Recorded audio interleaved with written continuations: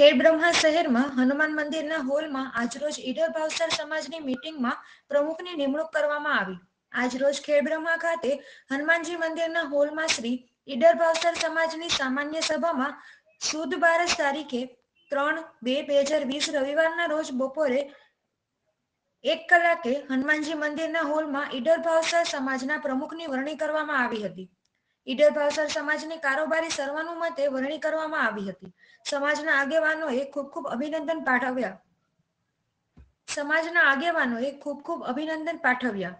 ઈડર ભાવસર સમાજના પ્રમુખ વરણી શ્રી મનોજભાઈ મૂલચંદભાઈ ભાવસાર, ઉપપ્રમુખ શ્રી દિલીપભાઈ પુંજીરભાઈ ભાવસાર, ઈડર મંત્રી શ્રી અશોકભાઈ ભગવતલાલ ભાવસાર, ખેડબ્રહ્મા સહમંત્રી અમિતભાઈ બાબુભાઈ હિંમતનગર ખજાનચી શ્રી ચિરાગભાઈ જયંતિલાલ ભાવસાર વડાલી સહખજાનચી રાજેશભાઈ પરસોત્તમભાઈ ભાવસાર ઈડર.